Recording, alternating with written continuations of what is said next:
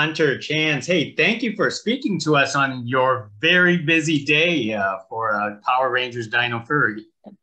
Oh, no. well, uh, thanks for having us. But must be exciting the fact that you know the second half of the second season is coming coming to the rest of us in I want to say like in 48 hours. Is is is it kind of frustrating that you had to wait for so long just for the second half of the season? yeah. uh, no, it's not frustrating, but the anticipation was killing us. Yes, absolutely. I'm like, oh, what? Just just come out already, please. Come on. Yes. But yeah, 48 hours. Oh my gosh, that's that's nuts. Oh my gosh. it, it is very exciting. So um so I want I want to hear it from um, both both of you. In in your words, is why do you think you know Power Rangers have this longevity for so many years? Why don't you start, Chance? Um, I think there's a lot of reasons. I think I think um, how inclusive it is with um, all different races and people from different backgrounds and coming from different situations. Um, it really tries to. I mean, throughout its its history, has tried to incorporate all kinds of different people from different lives. Um, I think that Power Rangers always fight for what's right, and they try to do their best, and they may not always succeed their first try, but they never stop trying. Um, there's a lot of great lessons in there. Um, and I remember watching it as a kid, like no, like I could see that even as like an eight year old kid. I was like, oh man, they never give up. And you know, there, there's so many special things about it. I think um, that that's how I see it. How about you? Yeah, Hunter? I yeah, I feel like every season has a character or like a scene or something that literally anybody can resonate with. So I just feel like it speaks to a whole volume of just like the entire world. I don't think that it's ever like one specific avenue. Um, like Chance says, there, there's a lot of lessons to be learned, but we learn them in like really great ways, like uh, teamwork. And, you know, like he says, we don't give up. And I think that that's a big thing. I think that it shows that like anybody and everybody can be a ranger as long as they like be themselves and as long as they like try hard. So I love that yeah. I, I love love that answer too. Now, mm-hmm. I think the most wonderful thing about Dino Fury is that we could see the evolution of your characters. Um, you know, mm-hmm. from from season to season, episode to episode. Uh, Hunter, why don't you talk about the evolution of your character? Um, you know, where it's been and where it's going without yeah well yes i can't really say how it ends but we start off with just you know my character is just this like normal teenager working a job just trying to get like life and she was raised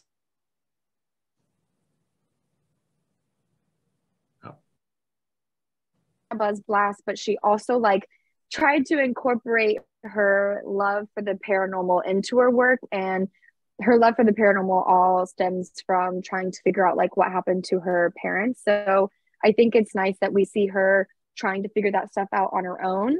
But then as soon as she becomes a ranger, she realizes her team will help her in no matter way to get any kind of made there for her to to do that. See her by herself doing it and then like you get to her and her teammates and then i don't know maybe towards the end you can see some conclusion. How about for you chance? Um can you repeat the question? I'm sorry. The, evolu- the evolution of your character. The evolution of your character. Can you talk about um i think in the beginning you see javi um he's he's not like an antisocial character, but I think in the beginning you kind of get this lone wolf vibe from him. Like he doesn't really have maybe like a tight knit group of friends or whatever. Um, he's got his sister, and that's the closest person in his life. His dad is not very supportive of him um, with his music and his, you know, whatever. And um, he's just kind of doing his own thing, trying to do the best that he can with what he knows how. And then he goes to the buzz blast and he gets sent to find and investigate this nephrite orb. And he sees this moment where you know the villains come and something needs to be done. That thing can't fall into the wrong hands. And he doesn't have anyone telling him what to do. He just knows it's the right thing. And he goes for it and he takes it and eventually becomes a part of the power rangers team. And he finds a group of lifelong friends that kind of help him come out of his shell more and you know support him with his music when you know no one else did besides his sister. And and he gets that loving family that he's kind of been like um i don't know probably a part of him was craving and like that that friend group.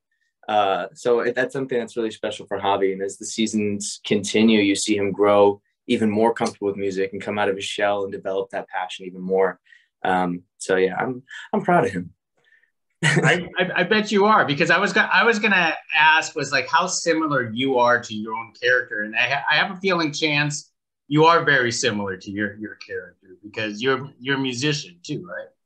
I am. Yeah, I I've, I've been a musician for I guess since I was 16 or 17 now, um, and about to be 25 this year. Uh, and uh, it was really cool being able to incorporate that like into my character and bring my own passion and love for music into him and kind of root myself in the character that way uh, so that was really special for me how, how about for you hunter how similar is you to your character um, I think she's very, we're very similar in a sense of like attitude and personality. I myself am not a writer. I don't think that I could ever be a journalist, maybe a video journalist. I could totally do that. Written wise, I'm not really sure. Um, I don't not believe in ghosts, but I would like proof. But when it comes to like attitude and personality, I think they're very upbeat and positive and they're very optimistic. And I think uh, we both are just like very like logical, but like with our heart, I think we believe everybody has good in them and we believe in the best in every situation. And we know that as long as like we work together, we can get through anything. So I feel like we're very similar on that aspect. That is that is good. That is great. Let, let, let me throw some offbeat questions to uh, both both of you here. How okay. has Power Rangers changed your life? Hunter started us off. Oh wow. Um. Hmm. You want a chance to go? he knows his answer, but oh, I don't know. I feel like it's just changed in so many ways. I feel like I I feel like I've actually learned a lot from my character and like the whole process of filming and everything. Um I know that we said that we're like very similar, but I feel like I never really not to get like too sappy or anything, but I never had like a group of friends like Amelia does. So I feel like I learned a lot from that aspect on like trusting people and like being able to allow friends in and like that kind of aspect of it. Um, and then also just like when I talk to little kids, little kids specifically who like love the show and stuff, it's just like so heartwarming when uh, like any kind of child comes up in in my costume. I'm just like, you like you like you like my character that much that you want to wear that. So I think the the impact of our show alone has even taught me a lot. Not even just my characters, the show alone. What about for you, Chance? How how has Power Rangers changed your life? um, God, I could I could talk forever on on that. Uh, I think. Um, I mean, I guess I can say it's uh, introduced me to the world of acting. I was I was never an actor before Power Rangers, and uh, it taught me a lot about myself and what I'm capable of. Um, being like obviously I, I watched the show, but being a part of the show, like you, you feel that even more like about um, teamwork and, and, creating a bond. And now I have um, some lifelong friends uh, who are coming to my wedding. Uh, and that's something that you know, I never would have met them not for the show. So it's definitely changed my life in that way. Um, yeah. Yeah. And, and I could keep going, but we'd be here all day. Yeah. that, that, that, that is something. Now, I, I, I, want an honest answer on on on this offbeat question. Here is, do you did you buy and play with your own action figure? Dan, go for it. it's true. It's true. I bought three of them. I plead guilty. I plead guilty. I remember that was the question I asked Simon Bennett. I was like, "So do you know when our action figures are coming out?" That was one of his first questions. yeah, guilty. So, so Hunter, you you also have multiple action figures. Play play with them too, or? I do. I think I actually have like six uh, in the box at my house, and I think my parents have like three, and then I have like two out of the box because like, who doesn't want to? I mean, take you back to being a kid, you know, playing with a figure in it, let alone like be you and your friends. Are you kidding me? Can have my friends play with me as figures? That's insane. All right. Well, let, let, let me throw one more offbeat question because you, you two are doing a really good job at all the curveballs and fastballs. I'm throwing everything at you. But people got to know is the fact that you, you know, Chance, you're wearing black all the time. Hunter, you're wearing pink all the time. and we want to know is, do you ever get tired of wearing those colors? And obviously on Zoom right now, it doesn't look like you're getting tired. Hunter starts off. um, no, I mean, I I went through a phase of like where everything I wore was like black, but like for the majority of my life, pink has been a favorite color of mine. When I started like being like a in my late teens, I started liking yellow. And so like yellow and pink are definitely my favorite colors. So definitely was exactly I feel like there's not a shade of pink that's um unnerving to the eye. So pretty excited about that when I just had to buy more pink clothes so that I could wear pink on like Zooms and stuff. I was not mad about it. It was just a shopping trip for me.